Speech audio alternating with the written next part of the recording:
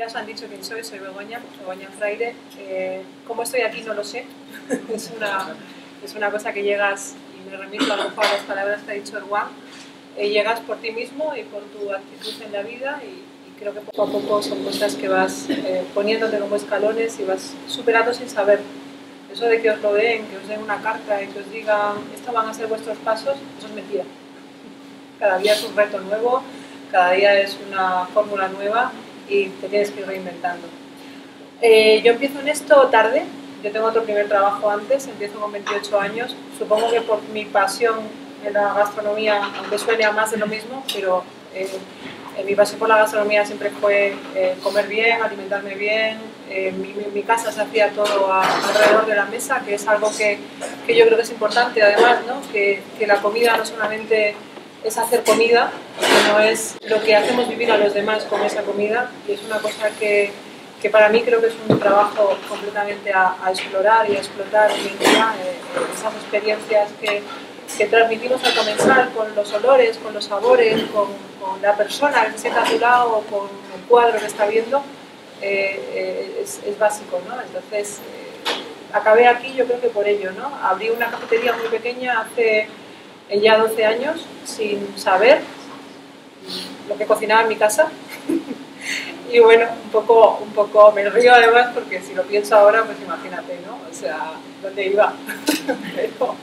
pero, oye, aquí estoy. Y, bueno, la, cafetería muy bien, empezó muy bien, pero a mí siempre el cuerpo me, pedía más, me meto en un catering, empezamos a hacer eh, caterings eh, enormes para, para muchísima gente, era algo que se me iba en las manos, nada, nada perfeccionista, nada meticuloso, a mí me faltaba más, ¿no?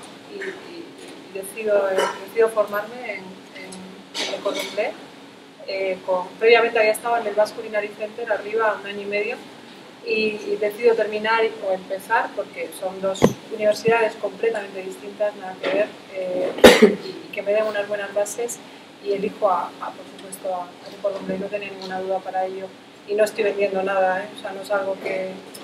es que es, cuando, cuando eres una forma de ser tienes que elegir las cosas que son como tú, ¿no? Y, yo creo que, que, lo que me dieron aquí fueron muchísimas bases eh, eh, en, todo, en absolutamente todo, y, un crecimiento, y unas técnicas y una forma de actuar en la cocina que, dime, dime cómo te mueves y te diré quién eres, ¿no? O sea, nada que ver, o sea, parece que todo vale, pero en absoluto, nada vale. En la cocina es todo milimétrico, todo perfecto y, y aquí lo hacen, ¿no? Y, bueno, y a partir de que termino mi formación aquí, eh, decido darle un cambio a, a, todo lo que estaba haciendo hasta el momento y, primero lo que tenía lo, lo convierto en, en algo parecido a lo que tengo y hace dos años ya casi que, cojo un local de la calle Ayala y abro Étimo, con otra madurez, con otra forma de, de, hacer las cosas, con otra forma de pensar, con, muchísima más eh, formación en, todos los ámbitos, no solamente en la, en la, en la cocina, y, decidimos hacer eh, que es una cosa que, está, es un restaurante que está basado en, el origen de, todo.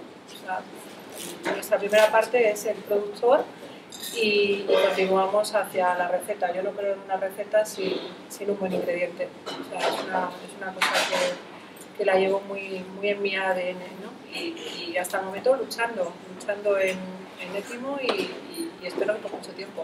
No recuerdo la segunda pregunta que me hiciste. El, profesional que trabaja contigo, ¿qué esperas? ¿De alguien que está en la cocina contigo con esta presión? Lo de que esperamos todo, eso está mal, ¿no?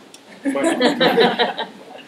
¿Qué esperamos? Pues mira, eh, me remito otra vez a, palabras que ha dicho el Juan antes porque me he sentido muy identificada con él en mi día a día. ¿no? Podéis tener todo el conocimiento del mundo, podéis ser magníficos en... Perdona, ¿me si para la voz? Sí, sí, sí. ¿Más alto? Sí. Yo creo que estoy gritando. Perdonadme, hace sensación que estoy gritando.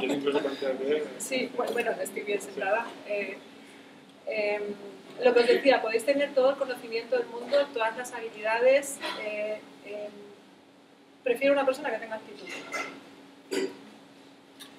No, no me preguntéis por qué, os lo podría decir el que tiene conocimientos, habilidades, eh, sabe de todo, no va a aprender nada más. No necesito, porque es que yo estoy aprendiendo todos los días. Yo, Begoña, que es la fundadora, o me veáis como queráis, ¿no? O sea, que soy la fundadora, que soy la chef, que soy la que me he metido en todo este berenjenal yo sola, yo quiero aprender todos los días. O sea, yo quiero tener actitud proactiva, quiero seguir pudiendo aprender del último que llega o del primero. Eso es lo que yo quiero, Begoña. Quiero mantener la ilusión. La cocina es un estilo de vida. Aquí no podemos venir a hacer ocho horas. Esto es para continuar y continuar y continuar y que cada día crezcamos juntos. Entonces, que me den actitud.